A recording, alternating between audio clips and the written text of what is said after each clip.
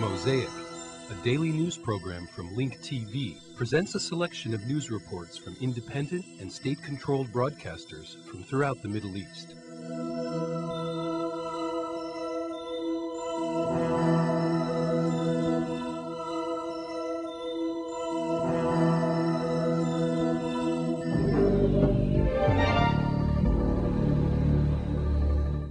عرض التلفزيون الأردني مساء Jordanian television broadcasts the confession of the wife of one of the Amman attackers. According to her confession, she accompanied her husband to carry out the attacks, but she was not able to explode herself. ساجدة مبارك عطروز مواليد السبعين Sajida Mubarak Atras, born in 1970, an Iraqi national living in Ramadi.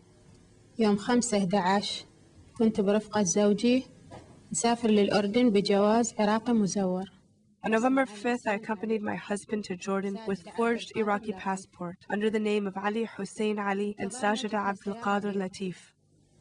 بها السائق وواحد وياه بالصدر صعدنا وياهم We waited and a white car arrived with a driver and a passenger. We rode with them and entered Jordan from Iraq. My husband arranged our trip from there, I don't know. ها بالأردن إيه أجرنا شقة In Jordan, we rented an apartment. He had two explosive belts. He put one on me and wore the other. He taught me how to use it, how to pull the cord and operate it. He said it was to carry out attacks on hotels in Jordan. قال ننفذ على فنادق بالأردن وأجر سيارة ورحنا إلى الفندق We يوم rented a car and entered the hotel on November 9th. My husband and I went inside the hotel. He went to one corner and I went to another. He went to one corner and I went to another. There was a wedding at the hotel with children, women, and men inside. My husband detonated his bomb. I tried to explode mine, but it wouldn't. I left. People fled running and I left running with them. طلعت الناس قامت تركض أنا طلعت أركض وياهم تحديات كبيرة في أعقاب التفجيرات الانتحارية التي زعزعت استقرار المملكة وألحقت We are talking once again about Jordan. It is facing major challenges in the aftermath of the suicide attacks that rocked its capital, and thus defacing the kingdom's reputation of being the safe oasis of the Middle East. In the wake of these explosions, politicians fear that the kingdom will turn its back on political reforms, which were initiated and launched after Jordan's king Abdullah started his reign six years ago. قبل ست سنوات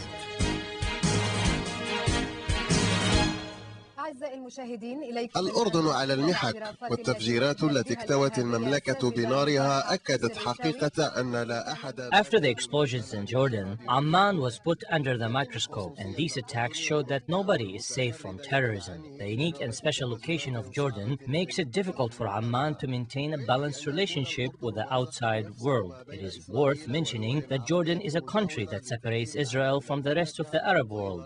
Due to its location, Jordan was destined to deal with hostility, instability, dictatorship, and tyranny. It appears as if the explosions were a settlement of an old feud between the Kingdom of Jordan and the Abu Mus'ab al-Zarqawi group. These latest incidents confirmed Al-Qaeda's intention of widening its operations and attacks beyond the geographic border of one country. Al-Qaeda targeted Amman to punish the Jordanian regime, as was the case of many Arab countries, for its political stance, especially of backing the United States on the so-called war on terrorism. Jordan is one of the most important United States allies in the Middle East. Its economy depends in large part on American financial support and grants. However, many Jordanians have disagreed with their government's position on supporting the Iraqi war and its slow process in implementing political reforms. In addition, Jordan entered into a peace treaty with Israel, which angered the al-Qaeda organization. On its internet website, the group vowed to inflict harm on Jordan for establishing relations السياسي خلف شعورا بالمرارة لدى شرائح واسعة من الأردنيين.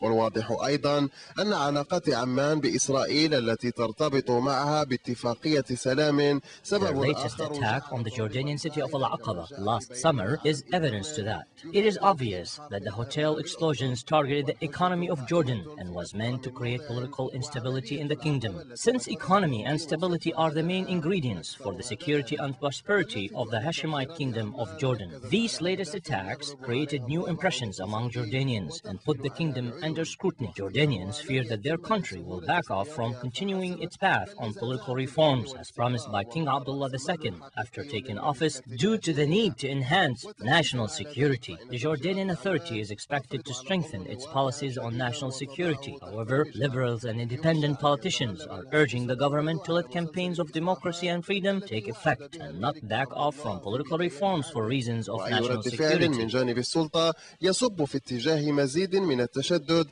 قد يفضي إلى نتائج عكسية فيما أن دعاة الإصلاح من ليبراليين ومستقلين يرغبون في أن يوسع In النظام the aftermath of these explosions, Jordan went through a terrible crisis. However, it is expected to recover, and these attacks will not affect the king's initiative of implementing political reform and modernization, but he is expected to proceed with great caution. في برنامج التحديث السياسي الذي التزم العاهل الأردني باستكماله ولو بخطوات حذرة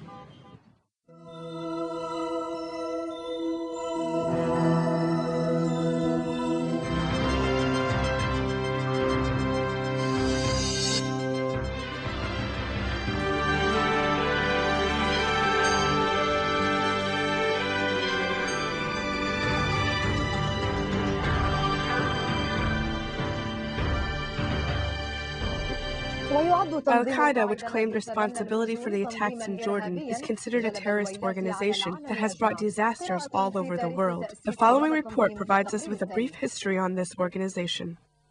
الفكر المتطرف لتنظيم القاعدة بزعامة أسامة بن لادن the extremist ideology of Al Qaeda, led by Osama bin Laden, has brought disasters in the Islamic world because of what was committed at the hands of this extremist organization that does not serve the nation in any way.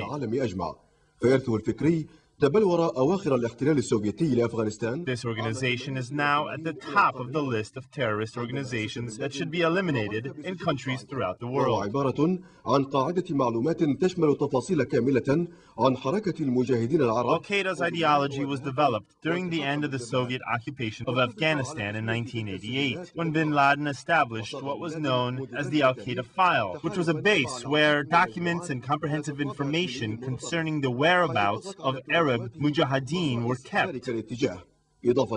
ذلك الاتجاه إضافة إلى العلاقات الشخصية مع أيمن At the الظواهري time, it was agreed that the base keeping this information would be called Al Qaeda. Since then, bin Laden managed to form many alliances with Islamic organizations that can be categorized as extremist, thereby influencing him towards extremism. In addition, he had personal relations with Ayman al Zawahiri, who fled his country at the time, escaping a death sentence. The result of all this was an extremist terrorist organization with an unreasonable religious agenda, giving itself the right to kill civilians in the name of Islam, though in reality it has nothing to do with Islam. Those who are closely watching international terrorism talk about four different branches of Al Qaeda in the world. Each uses a different style from the other, though their point of reference is the destructive ideologies of bin Laden. Geographically, these branches can be divided in the following manner. The first branch in Eastern Asia, especially Afghanistan, which until the US launched war on the Taliban in 2001, was the primary base of Al Qaeda and other organizations, both ideologically and logistically. Secondly, Al Qaeda in Iraq, whose founders came from Afghanistan following the United States war in Iraq. This group united with the Tawhid and Jihad groups led by Abu Musab al Zarqawi, thus compelling bin Laden to recognize al Zarqawi in 2004 as the leader of Al Qaeda in Iraq. Later, the organization became known as Al Qaeda in the land of the two rivers. Thirdly, Al Qaeda on the Arabian Peninsula, which was established beginning with the Khobar attacks in 1995 and is now led by Saleh Aufi. Fourth, Al Qaeda in Europe, whose leader is still unknown, but reportedly has put pressure on European governments and provoked international opinion against them in order to pressure them to withdraw their forces from Iraq. This terrorist organization is now pursued by all countries in the world. Definitely, justice will reach every cowardly criminal belonging to Al Qaeda, which transgressed all humanitarian and moral values, transforming religion into a license to kill and shed blood. كل القيم الإنسانية والأخلاقية وحولت الدين إلى What is needed is an international strategy utilizing economic, legislative, and even military intelligence capabilities to counter terrorism in all its forms and to stop it from spreading further. بكل أشكاله والحيلولة دون انتشاره You've met with His Majesty the King. What was the focus of the talks? I talked with His Majesty first, of course, to offer the condolences of uh, the President and of the American people. Uh, we also uh, talked about uh, the response of the people here and uh, all that has been done. Uh, we talked about our common struggle against terrorism and redoubling our efforts, both in terms of uh, helping with security, but also redoubling our efforts to uh, to drive terrorists from uh, the, the safe havens that they have. We we talked some also about uh, the Middle East. He, the, His Majesty knows that I was just in Israel, and he was interested in uh, the discussions I've had uh, about the peace process as well. do you think these latest attacks in Amman will affect the Jordanian-U.S. relations? I believe that uh, the Jordanian people are showing uh, what the American people showed, which is that they know that the, the issue here is the terrorist. We have to be united against the terrorist. Uh, this is no time for division among those of us who stand on the side uh, that says that we want peace and security and a more prosperous and, uh, and uh, democratic future. We are united and we're united against the terrorist. And so I think uh, this is a, another. Uh, another way to show that the United States and Jordan are uh, the best of friends and will continue to be. Um, in light of um, uh, these attacks, uh, does the United States still have full confidence in Jordan and, uh, and its uh, historical reputation of being um, an oasis of uh, stability in a rough uh, region? Well, we of course have confidence in Jordan. we have to remember that uh, it's very hard to defend against terrorist attacks of this kind. We, of course, experienced uh, devastating terrorist attacks on September 11th. Great Britain has experienced terrorist attacks, uh, Spain, and you can add country after country because we all take very great security measures, and, and Jordan has a very well deserved reputation for excellent security and excellent security forces. But the terrorists only have to be right once. We have to be right 100% of the time. And that's why we have to fight uh, the war on terrorism, not just as a defensive war, but also uh, on the offense. Um, finally, Secretary Rice, terrorism has hit home dearly, and uh, Jordan has paid a price for being uh, a key U.S. Uh, ally. Um, how can the United States help Jordan um, overcome any future threats in the kingdom? Well, I think that Jordan is paying a price for being a peace loving country. Uh, that the, the terrorists have targeted, much as they've targeted other peace loving countries. And the list is long. And uh, it's a list that has a variety of relationships with the United States. Uh, I think that we, we, as Prime Minister Blair said, there is no excuse for the terrorists. They would like us to say, well, it's because of uh, the relationship with the United States or it's because of the politics of the Middle East. No, there is no justification for what they did. And so what we must do is to redouble our efforts, uh, as we will, to uh, try and make ourselves more secure, to continue the excellent uh, intelligence and law enforcement cooperation that we have. Uh, we have offered um, help in the investigation here, and of course, we will be ready to listen to uh, any ideas that Jordan might have about how we can help. But ultimately, we have to remain united in our struggle against these terrorists. We have to remember that there is only one choice and that is to defeat these terrorists. Uh, we cannot make excuses for them. We cannot uh, negotiate with them. We simply have to defeat terrorism. Once again, uh, Secretary Rice, thank you very much for joining us. Thank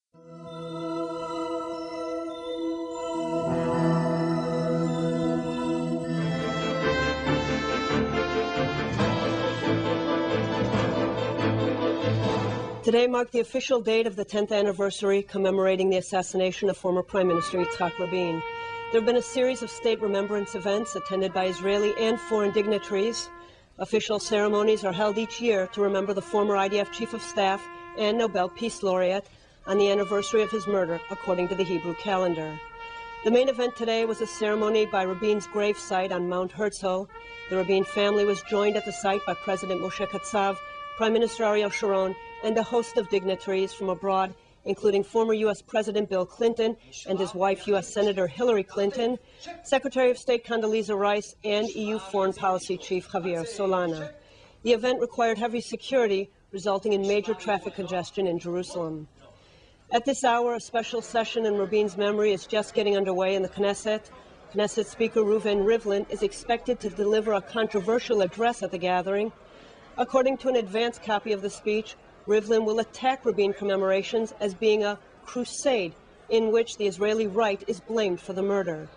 Rivlin will declare that there are systematic attempts to place responsibility for the assassination on those who refuse to accept the Oslo peace process. According to Rivlin, Rabin was murdered because of his political path and not because of his career in the IDF or his role as defense minister. The murder must be condemned, said Rivlin, but circumstances of his death should not be blurred with his political stance. Joining us now in the studio to discuss the Rabin legacy is a longtime associate and friend of the slain Prime Minister Uri Dromi from the Israel Democracy Institute. Uri, thanks for joining us this evening. Is the political process that Rabin set in motion still alive today? Definitely. I think uh, Rabin opened uh, the gate, and uh, it, of course, it took us uh, some time. Of course, he was assassinated, so he couldn't uh, pursue it himself.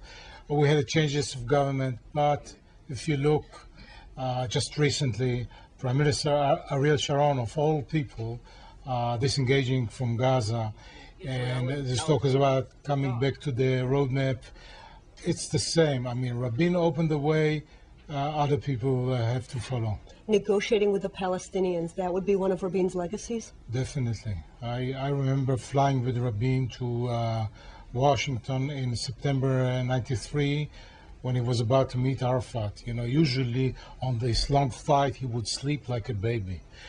This was the only time I saw him, he couldn't sleep. He turned back and forth and he got up. He had something to drink tried to sleep again. He was very anxious. He didn't like it. But he was an honest man, and he looked reality in the eye and said, if this is the, the, the representative of the Palestinians, I'm going to try and make peace with him. So this is the legacy of Rabin. You uh, look at the reality and try, uh, without any messianic uh, views, to deal with it. As you just said, you're quite close with the slain prime minister. How would he rate the current relationship between Israel and the Palestinians right now? I think he would uh, he would uh, um, as always weigh the pros and cons, and I think he would uh, think that after the passing of Arafat, there's a new opportunity. I think the Palestinians are weary of the of the of the, this Intifada, uh, he would be uh, skeptical about uh, the ability of uh, Abu Mazen to deliver, but nevertheless he would uh, try and, and deal with him. Uri, one of the first things Amir Peretz did when he won the race for the labor primaries was to visit Rabin's grave. Is Peretz going to follow in Rabin's footsteps, or would Rabin have considered Peretz a bit too far left even for him? I think uh, on the socio-economic issues, definitely yes. I, I, don't think Rabin was as socialist as, as Peretz is. And the peace, peace, uh, uh, pursuing peace, I'm sure they would be the same. Uh, Peretz come from a different background. You know, he doesn't have the air of security. He wasn't uh, general, etc. So it would it would be more difficult for him because Israeli still value uh, the military uh, people. But maybe that's the change of times, and it's it's about time that some uh, other kind of, of leaders step forward. Uri Dromi from the Israel Democracy Institute, thanks for coming in and sharing your knowledge of the slain Prime you. Minister.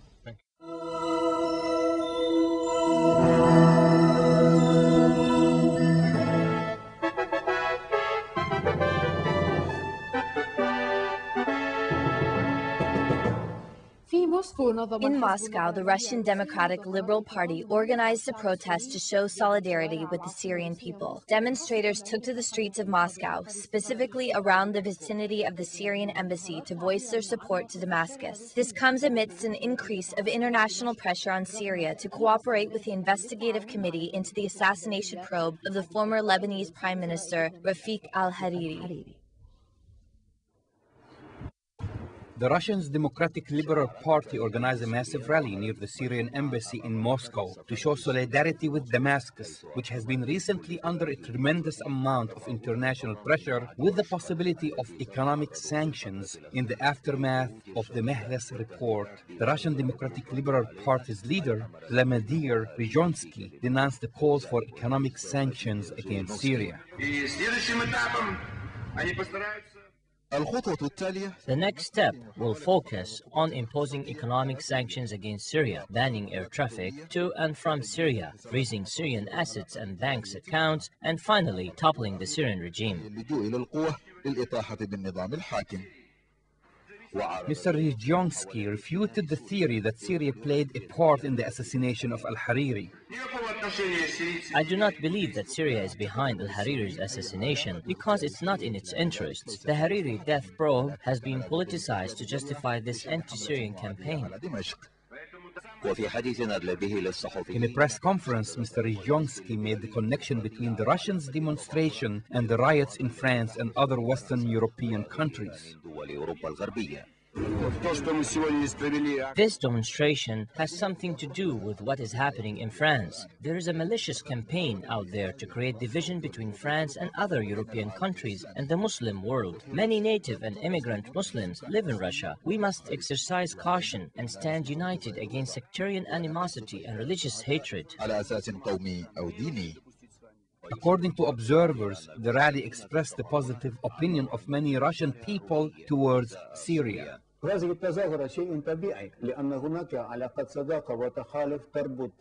This demonstration comes to reinforce the good and long relationship between Moscow and Damascus. Zhirinovsky's pro-Syrian statement and remarks express the Russian people's attitude and position towards Damascus.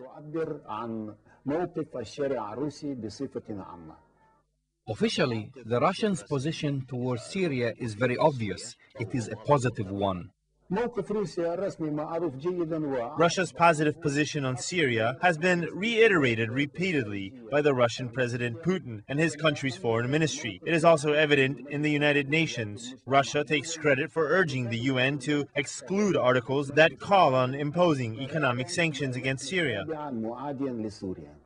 ويعتقد المحللون أن روسيا تركز الآن نشاطها الدبلوماسي على حث دمشق على التعاون مع Meanwhile, Russia is urging Syria to cooperate with the International Investigation Committee to spare Damascus and the entire region from facing yet another crisis. The Syrian problem will be one of the most primary topics discussed in the upcoming meeting between Putin and Bush during the Economic Coordination Summit that will take place in South Korea next week. Russia is facing a difficult task. It will try to spare Syria international economic sanctions while maintaining a good relationship with the U.S. administration. جيدة مع الإدارة الأمريكية يفجيني سيدروف قناة النيل للأخبار موسكو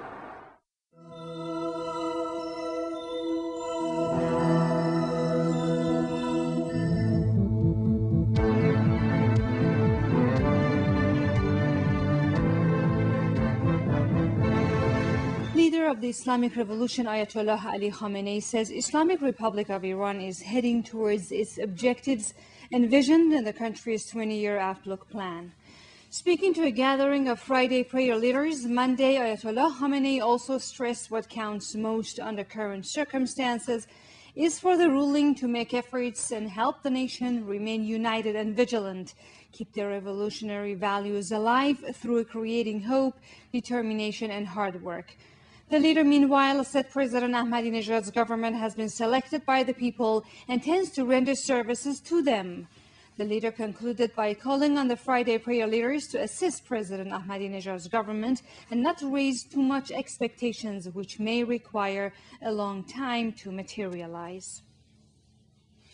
Iran's visiting foreign minister Manucher Mottaki and Syrian President Bashar al-Assad underlined Monday the need for Tehran and Damascus to further their mutual economic relations.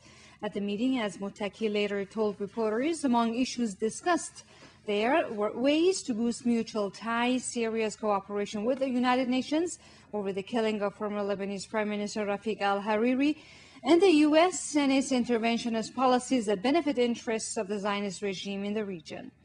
Mottaki also said Iran and Syria enjoy a common stance over Iraq's future, which is to provide Iraqi nation with a chance to determine its own fate.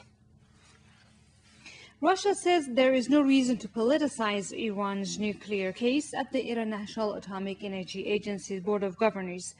Head of the Commission of the International Affairs at the Russian Duma, Konstantin Kosachev, made the remark late Monday and ruled out the possibility of serious opposition against Iran's peaceful program at the upcoming IAEA board meeting. A senior official at Russia's Geopolitical Academy, Leonid Ivashov, too, supported Iran's nuclear activities geared for its civil purposes and said Moscow will take a stance to Tehran's benefit, which can't stand up to the U.S. politicized stance.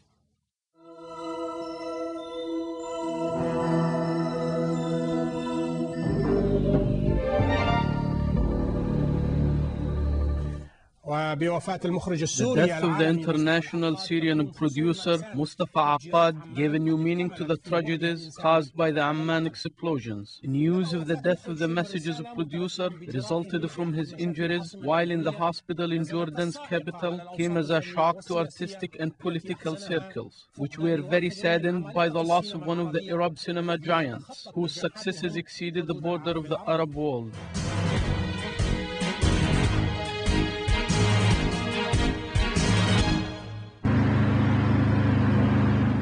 The explosions in Amman have created a dramatic and a tragic situation that did not usually exist in other attacks. The unfolding bloody events associated with these attacks seem to be part of a well-done movie that would make people wonder whether it was fake or real, except for its catastrophic ending. Amidst the scenes of fear and destruction, people tell horrific testimonies and stories about the victims and destruction that hit them from nowhere. Mustafa Akkad, the Syrian filmmaker whose fame went beyond the horizon, was one of the dozens killed in a very dramatic way. The fate of the man who fought extremism with his cinematic creativity ended at the hands of extremists. He died of sustained wounds in his neck, which was hit by shrapnel. I faced more opposition making the movie The Message from Muslims than I did from the West and Jews. Jesus.